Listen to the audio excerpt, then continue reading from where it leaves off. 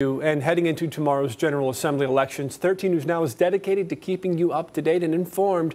We've done deep dives into all of the races in our viewing area. Tonight we take a look at the 26th Senate District. Mike Gooding spoke to both candidates.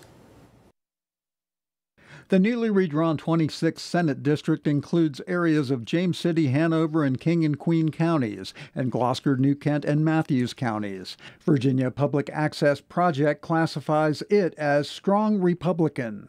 The two candidates running this year are the incumbent Republican Senator Ryan McDougle and his challenger Democrat Pamela Garner. The 51 year old McDougle is a lawyer who has served in the state Senate since 2006. He says his top two issues he hears about from voters are parents' rights and crime.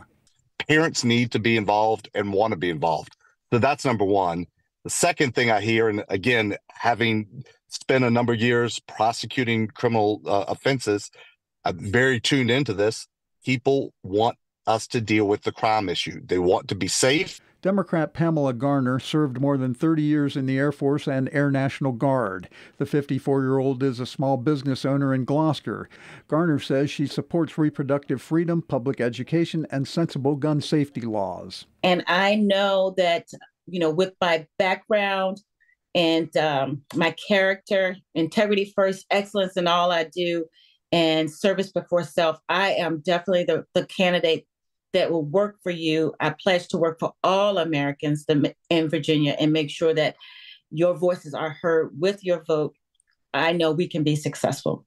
Mike Gooding, 13 News Now.